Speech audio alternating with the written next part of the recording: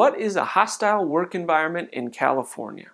People say and do stupid things all the time at work, but that doesn't necessarily mean that the law was broken.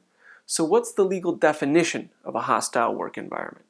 We're going to answer that question and more in this video.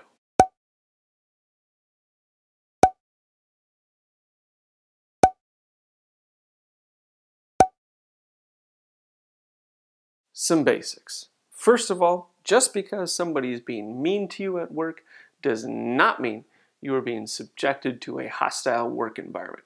A hostile work environment is a, is a legal term and it has a precise legal meaning. In fact, this entire video is going to be us covering different parts of the definition of a hostile work environment. Secondly, when I use the term hostile work environment, I mean harassment. And when I use the term harassment, I mean hostile work environment. For all intents and purposes, California employment law treats those two terms the same. Third, you need to understand three different things. Well, the distinction between three different things. Discrimination. That is when a company takes an adverse action against an employee because of a protected characteristic. Harassment is when somebody is treated poorly at work because of a protected characteristic. Bullying, on the other hand, is when somebody is just treated poorly. Discrimination and harassment are unlawful. And the reason they are unlawful is that because of protected characteristics, which we are going to cover in just a minute. California's hostile work environment law can be found in the California Governmental Code, section 12940, subsection J. And that law is further refined and better explained in the jury instructions, the instructions that are actually read to the jury in a harassment case. Uh, section 2521, subsection A, that kind of outlines a bunch of factors, but the four main ones to explain in this video are as follows. A harassed employee must first show that the harassing conduct or comments was unwelcome. You have to show that it was because of a protected class or category, which we'll again cover in a second. You have to show that the harassment was so severe or pervasive as to alter the working environment to create an abusive working environment. And, and finally, you have to show that the company knew or should have known that the harassment was occurring. That, that's in order to hold the employer liable.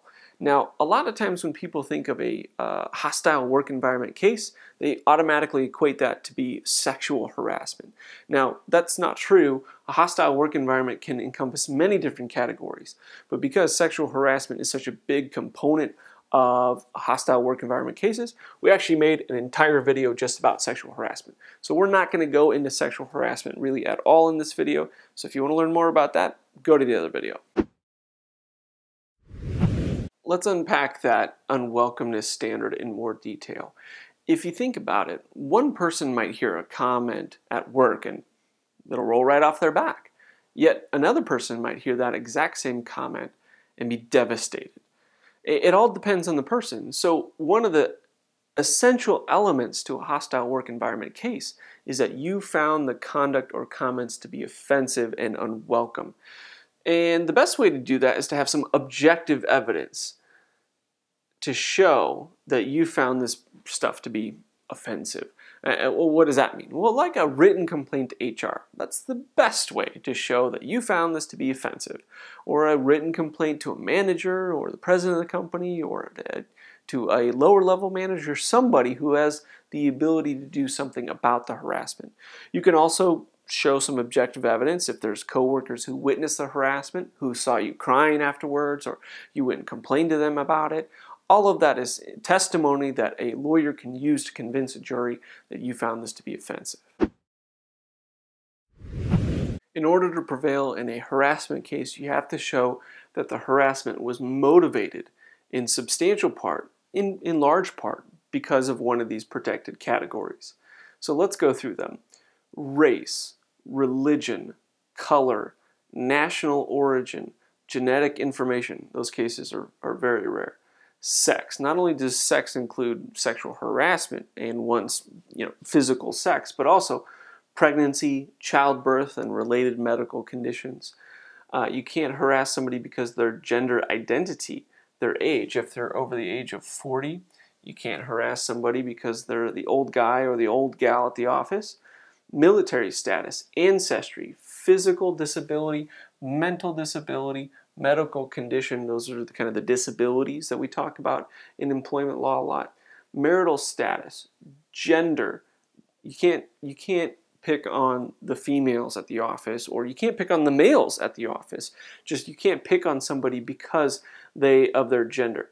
Gender expression, sexual orientation, and veteran status. Now the most common harassment cases that we see as employment lawyers, race, religion, sex should be an obvious one, age, very common in California. The disability cases, and we see sexual orientation cases quite often.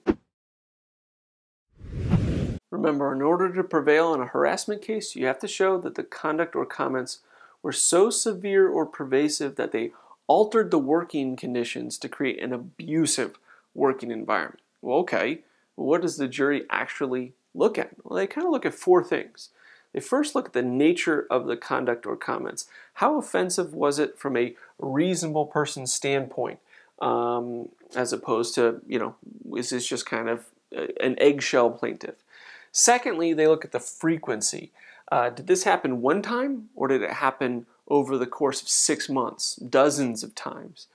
Was the behavior done in any physical sense? Like, was there physical touching, or was it just comments or gestures? And finally, was the behavior, did it unreasonably interfere with the employee's job performance? That's a big one that can't be understated. Remember back when we said that you have to show, in order to hold the company liable, you have to show that the company knew or should have known that the harassment was taking place. Well, let's unpack that a little bit further here. Okay, this is really easy. If the harassment is being conducted by a managerial employee, boom, automatic liability for the company. If the harassment, and it doesn't have to be your manager, just a managerial employee, if the harassment is being done by a manager of any kind, company is automatically liable.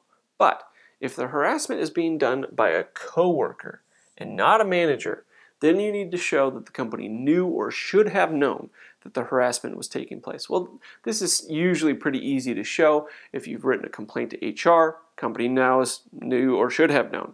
If you complained about it verbally, company knew or should have known. If a manager witnessed the harassing conduct, okay, they knew or should have known. So that's a fairly easy thing to show in most of these cases. If you feel like your situation meets the definition of a hostile work environment, should you actually file your case? Well, let's look at the type of remedies that are available to you. First, your economic damages. These are damages for lost wages. If you complain about harassment to HR, to the management of the company, and then you're fired, well, you're not making your salary anymore. That's a very tangible economic loss that the jury can measure. Secondly, emotional distress damages. These are the damages for the pain and suffering that somebody goes through as a result of the unlawful harassment. These are very real, especially in severe cases, um, and often the largest component. Uh, third, you can get your attorney fees. California Governmental Code 12940 is a part of the FEHA statute, the California Fair Employment and Housing Act, which allows for the recovery of attorney fees, which is great because it is a large and significant hammer that can often push these employers into an early settlement discussion. Finally, you can get punitive damages. Now, these are difficult because you have to show that the harassment was done with malice, oppression, or fraud, which has a higher burden of proof. But if you have a good lawyer, uh, he or she can ring that bell more often than others. Um, and so you'd want to really make sure you hire a good lawyer. Finally, should you file your case? What would it be worth? Well, we don't know. Uh, there's no published averages as to the average harassment case because settlements are confidential, so lawyers don't know. Now, I can say this uh, if a, you are able to find a good employment lawyer to take your hostile work environment case, and that lawyer invests their own time and energy and money into the case, and they take it on a contingency fee, which means they don't get paid unless they win or they settle the case, um, you can rest assured that they're going to maximize the value of that case. So, if you can find a lawyer to take your case, you probably should pursue it. But if you can't find a lawyer to take your case, might not be in your best interest. But call a couple. Don't give up on the first one. That's all I have for you. Take care.